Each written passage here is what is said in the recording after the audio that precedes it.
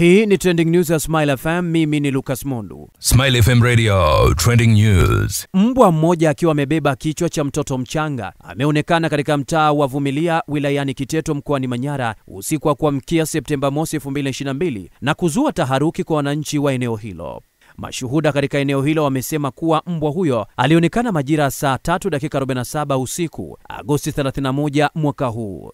Jeshi la polisi wilayani Kiteto baada ya kupata taarifa hiyo walifika katika eneo hilo na kuokota kichwa cha kichanga hicho na kuondoka nacho, huku kukiwa hakuna mtu yoyote anayeshikiliwa na jeshi la polisi kutokana na tukio hilo. Smile FM Radio Trending News. Watu watatu wamefariki dunia na wengine kadhaa kujeruhiwa baada ya basi la burudani kuligonga lori lilokuwa limeegeshwa katika kijiji cha Taula, kata ya Kwedizinga, wilaya Handeni, mkoani Tanga. Tukio hilo limetokea usiku wa kuamkia Septemba mosi 2022 saa moja usiku ambapo basi la kampuni ya burudani ligonga roli lilokuwa limeharibika barabarani baada ya dereva wake kushindwa kulipaki kutokana mbele yake kuwepo kwa gari jingine. Kaimu kamanda wa polisi mkoa wa Tanga David Chadingi amethibitisha kutokea kwa tukio hilo na kusema kuwa chanzo cha ajali hiyo ni mwendokasi ambapo dereva alishindwa kulimudu gari lake na kuligonga roli kwa nyuma. Mkuu wa wilaya Handeni aliyefika katika eneo hilo amesema changamoto ya eneo hilo ni jembamba, hivyo ikitokea changamoto ya gari kuharibika inakuwa ni shida kwenye kupishana, hivyo kusababisha ajali. Smile FM Radio Trending News. Wakili wa tume huru ya uchaguzi na mipaka nchini Kenya IBC Mahati Somani amesema kiongozi wa Azimio Raila Amolo Odinga ameghushi nyaraka za ushahidi zilizowasilishwa Mahakama Kuu kupinga matokeo ya urais. Katika mawasilisho ya siku ya jana Septemba 1, 2022, wakili Somani alitaka Mahakama Kuu kukataa fomu 34A zilizowasilishwa na timu wanasheria wa Raila Odinga kama fomu halisi, kwani siyo halali na zina udanganyifu. Suala la mchakato wa kubadilishwa fomu pamoja na muundo wake ni miongoni mwa ufafanuzi uliotakiwa na majaji wa mahakama kuu kutokana na madai ya upande wa Odinga na timu yake. Smile FM Radio Trending News. Habari za michezo.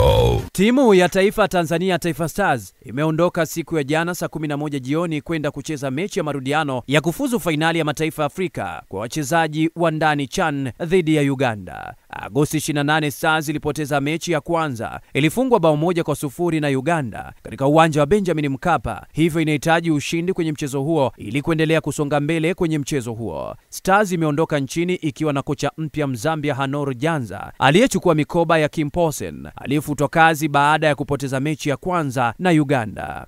Janza amemwongezea striker John Rafael Boko ndani ya kikosi chake na amemwelezea kwamba kutokana na uzoefu wake ataleta tija kwenye timu hiyo. Mbali na kumzungumzia Boko, amesema wachezaji wote wapo sawa na anaamini watafanya kazi nzuri kwenye mchezo huo wa marudiano utakaochezwa tarehe tatu mwezi wa tisa mwaka elfu mbili na ishirini na mbili. Smile FM Radio Trending News.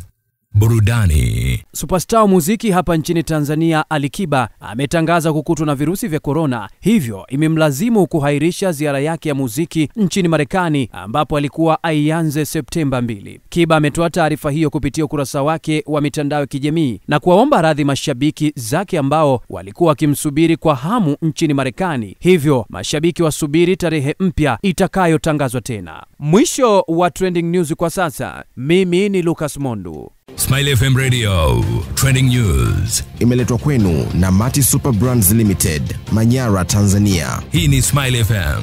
Kwa taarifa zaidi tembelea kwenye kurasa zetu za mitandao ya kijamii kupitia Instagram Smile FM TZ na Facebook Smile FM Radio Tanzania. Smile FM Radio tumekufikia.